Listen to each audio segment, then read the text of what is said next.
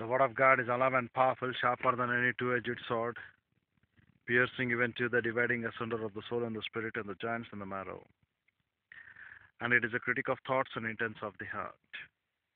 All scripture is God breathed and is profitable for doctrine, for reproof, for correction, for instruction in righteousness, that the man of God might be mature, thoroughly furnished unto all good works. Study to show thyself approved unto God, a workman that needeth not to be ashamed, rightly dividing the word of truth, or accurately handling the word of truth. Never we may realize in our lives the truth of Bible doctrine, dear brethren. The positive end as well as the negative end claimed by our Lord and Savior Jesus Christ during the period of the prophets of Israelites. The instructions given to them if they would walk positive, what would be the blessing? The cursings that have been given to the Israelites if they would fail to walk in the word of the Lord, what would be? Their fate in the five cycles of discipline and the extermination of them permanently in AD 70 till to the point of the rapture. No, Israel will be again a client nation to Jehovah. But prior to that, our Lord claimed in Jeremiah 5, verse 30 and 31, a great truth of all time, a simple quote in verse 30. The KJV tells, a wonderful and horrible thing is committed in the land. But the original Hebrew tells, desolation and horrible thing she has become in the land. How we can explain this category, desolation and horrible thing. What is the desolation and the horrible thing that has become in the land? Today, if you could look those things, it is not the idol worship, it is a rejection of Bible doctrine, Bible teaching in the pulpits.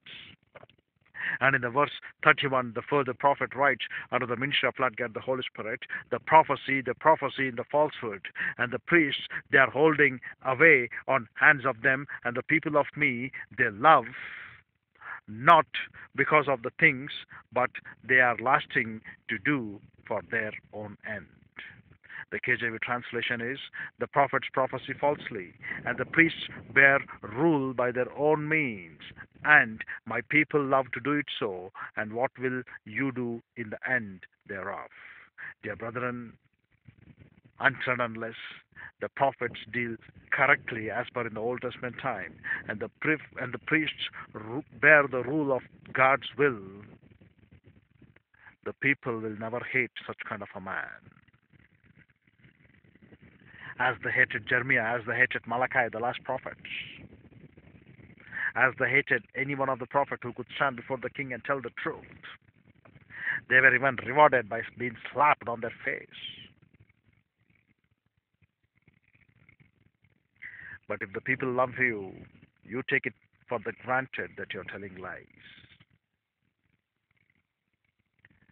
If the people really love a prophet, they would really change their corrections and get back to the knowledge of Christ and repent to the growth of Bible doctrine. And if they fail to look into the correction of the knowledge in Bible doctrine, dear brethren, then take it granted they're hating you for the truth what you tell. And they fail to get their deeds to be taken care in the light and correct their evil deeds and get back to the path of lightness rather than walking in darkness. So this is a dissolution and horrible thing in the field that is happening in the land where we are going through. Today, if you could consider the prophets who have been no longer there, but the pastors, the pastor teachers are teaching lies. And those who are there under their care, particularly the one who have to tell the word of the Lord more diligently from the original languages of the scriptures, the pastors are bearing rule according to their own mind, according to their own will. And they're holding away on hands of them so that the people of them they love. And why do the people love? Because their carnal sentiments is been fulfilled and they're not in a position to endure sound doctrine, dear brethren. That's why they love. And at the same time, what will you do in the end thereof? Or you shall do to last of her what you will do. If that is a question, if Lord could ask for us. we will tell to the Lord, we will do once again isagogical study in the pulpits, categorical explanation of the word in the pulpits, and we will tell the exegesis of Bible doctrine or the dispensing technique of the dispensation in these pulpits. But how many of them are really aware of this pain? How many of them are really worried to look the name of the Lord and His word has been absolutely downtrodden under their foot? And the mystery doctrine of the church has been absolutely paralyzed. How many of them they are known of these things? But dear brethren, we do know very well the way how this church is going to end up. This church is going to end up in apostasy, and apostasy is a deliberate rejection of Bible teaching in the pulpit. So whenever the pastors fail to communicate the word of the Lord exegetically, isagogically, and categorically, take it granted that land is a desolate and horrible thing. That land has to be totally washed out. And in the land where there is no Hebrew school of thoughts, what we can learn, no proper communication of Bible doctrine as and then and then existed the Old Testament exegesis, that place itself is exterminated, karam in the Greek, or kamarims. They are the priests, they are the priests who are not exactly the priests but false teachers there. And for this, the heart of the Lord has been paining absolutely for only one simple reason. And that one, one simple reason, dear brethren, whether you believe it, take it, consider it or not, is that you and I need to understand when the priests deal falsely with the Lord according to their own rules rather than looking upon the rules and conditions of Bible doctrine. Till that time, there is no proper revelation of the word of the Lord. Till that time, there is no revelation of Bible doctrine in that place where the people or the pastors are dealing very falsely in considering to God's word. And the pastors, when they are being not really giving God's word as number one criteria, do you know what? The people love those pastors rather than those pastors who can really claim and teach to you the word of the Lord more clearly from the original languages of the scriptures. And it is to a great fate for us that there are not enough men in the church who can really divide the word of the Lord more accurately, more clearly, more diligently. But rather, it is a great pain of the plea of my heart to tell to those pastors who have been already existing to my contemporary period leave off all those abominable, desolation, and horrible things and the practices of you and get back to the point of consideration of Bible doctrine as number one criteria and look into the truth of the word of the Lord. And practice to look about this end, how you're going to change. And consider to work what is the desire of the Lord God Almighty's heart upon us, and how well we are here to rightly divide the word of truth.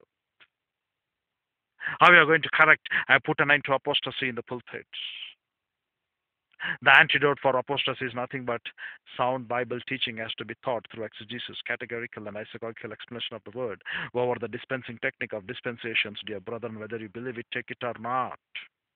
Dispensation is a Bible doctrine word. It is found in the Bible.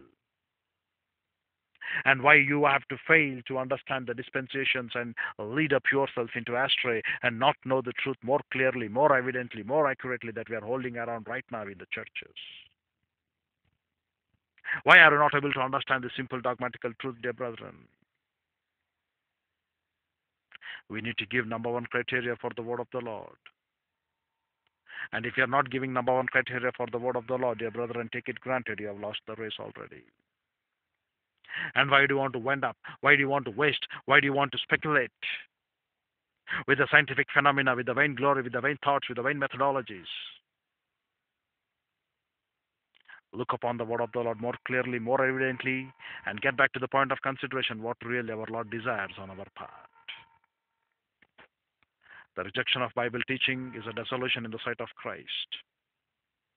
It is a horrible thing in the, in the sight of Lord God Almighty. And why do you want to continue in that horrible things, dear brethren?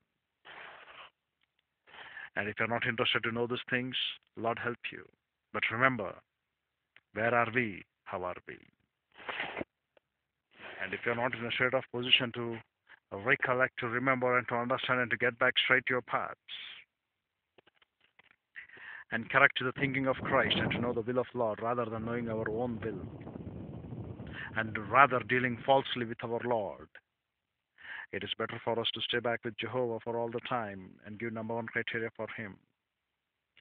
And get to the point of consideration of truth in our lives, wherewith you and I have been called and chosen, so that while we appear at the judgment seat of Christ, we need not be ashamed. And Lord knows how to pay back when we stay back to the truth and look upon to eradicate, to put an end to this dissolution and horrible thing that is taking place in our pulpits. To put an end is nothing but once again start the ICE concept, isagogical, categorical, and exegetical explanation of the word or the dispensing technique of dispensations. And we do know there are not enough men who can understand the doctrine what I'm communicating because the doctrine that we communicate requires the mental ministry of Lord God, the Holy Spirit, to be understood. And if they're not capable of understanding it, Lord, help them. In the next step, we shall continue our discourse. Father, we are grateful for the privilege that was given to fellowship with thee through thy word. We pray that Lord God, the Holy Spirit will enlighten us in these things and make it a source of blessing and challenge our in Lord. For we ask it in Christ's name, Father. Amen.